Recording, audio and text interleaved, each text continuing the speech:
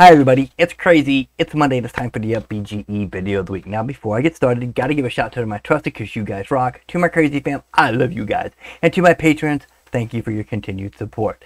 Now, last week we left off with, let me switch over to it. There we go. Child of, and before I get started with that, I want to actually bring this one back out because uh, I didn't do this one right last week. I was showing this off and I was trying to get it to work, but then I got to thinking, wait a minute, I didn't look at the instructions. So let me go ahead and hit it real quick for y'all.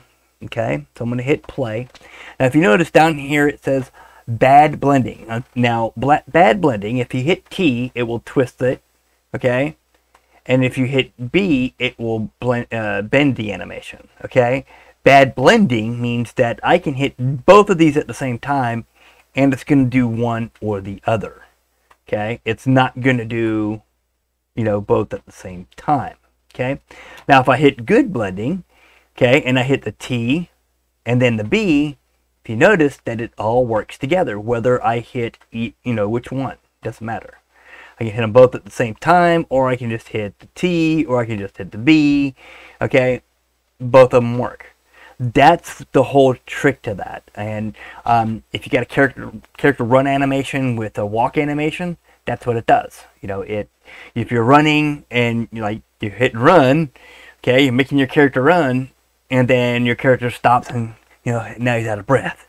Okay, that's what that does. It's it's a transitioning. The blending has to be good for it to work. And I'm sorry I didn't look at that and pay attention to that last week. So let's carry on. Okay? Child of. It's only partially supported. The ability to dynamically set parent relations for bones during the game is essential for some animations. Imagine that you are building a samurai game. In the non-fight moments, the sword will be inside a scabbard, and therefore it should be parented to it. Okay, so the sword should be in the scabbard, not in his hand, waving around while he's talking to somebody you know, and yeah, I kind of hurt somebody. Off. Let me tell you. Okay, yeah, it wouldn't work. Okay. uh, during combat, the sword will move from the scabbard, okay, to the samurai's hand.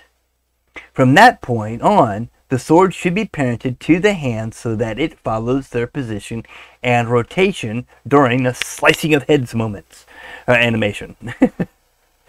okay, so basically it should be in the hands while they're fighting, should be in the scabbard well, they're not.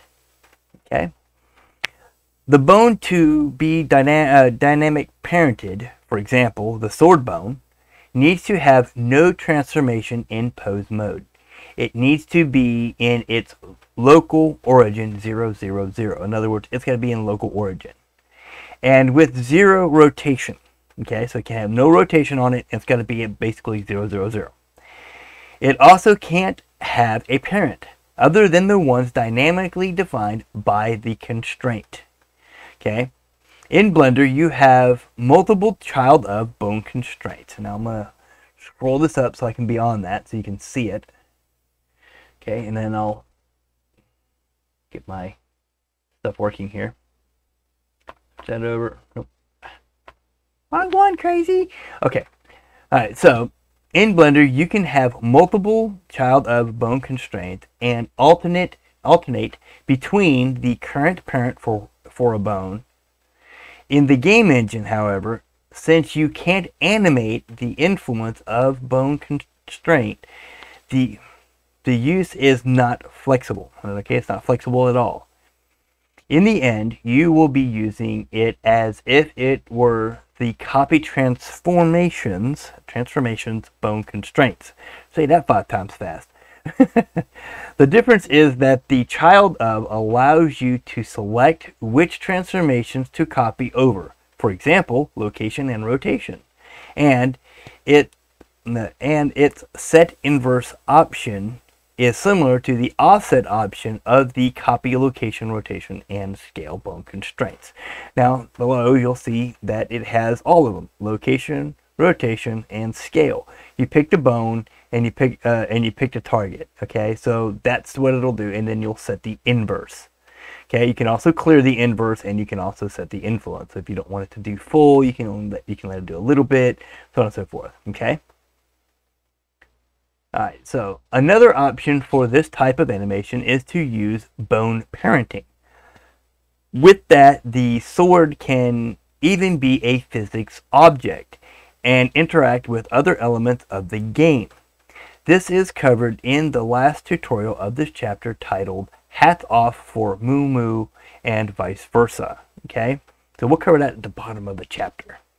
Alright, not supported yet useful. Okay, as with other bone constraints not properly supported in the game engine, you can still use it fully to help animating in Blender.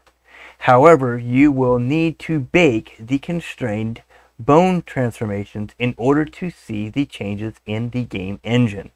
This topic is covered later in Chapter 8, Workflow and Optimizations Chapter 8.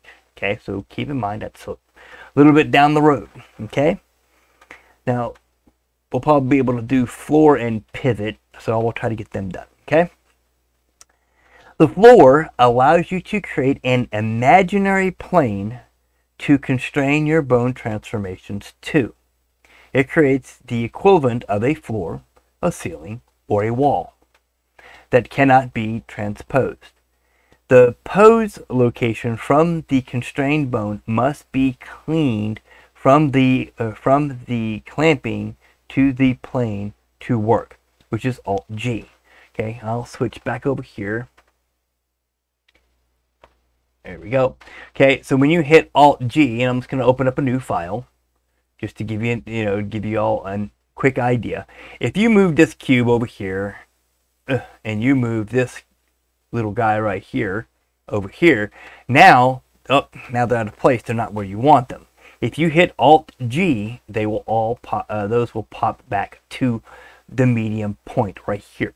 Okay, the center, of the center of the grid. Okay, everybody calls it the medium point. You can call it, you know, the pivot point, whatever. It automatically puts it right there. So it has to be cleaned, in other words. Cleaned for clamping is what they call it. In other words, Alt-G it and you should be good. Okay? All right, pivot. This bone constraint helps rotate bones around a specific bone. An example would be to create a screwdriver animation. The screw position would be represented by a bone used as a pivot, the target bone in this bone constraint. The hand with the screwdriver would have its rotations locked to the pivot. To make the influence propagate through the bone chain, you would need to hand uh, the hand bone to have an IK bone constraint. Okay, and I'll put that up here in just a moment. Given the, uh, that often the screw will not be part of the mesh directly deformed by the armature unless you are animating Frankenstein preparing himself for an IQ uh, test.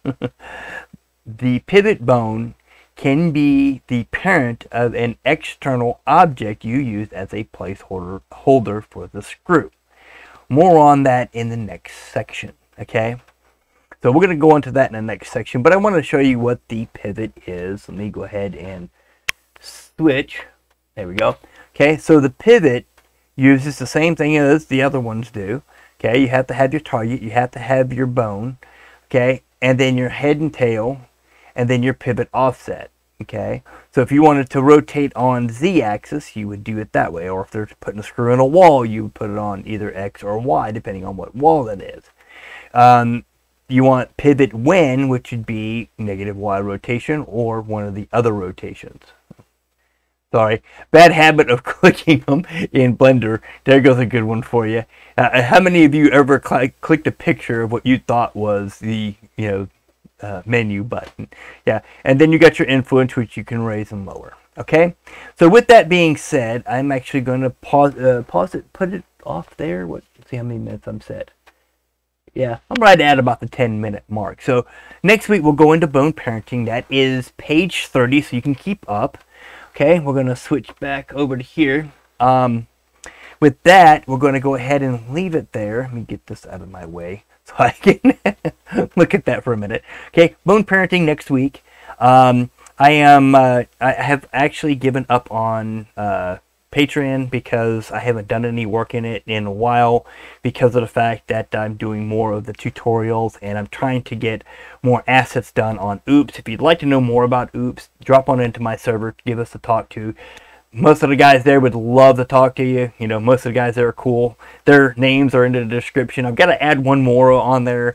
I keep forgetting to put him on there, but he has been a good, close, personal friend uh, in the internet uh, deal here. He was on uh, uh the Blender Wars, you know, uh, committee and doing the collab with that. And uh, he does a lot of work and really good modeler, so I have to put him in there. I'll probably wind up doing that in this episode.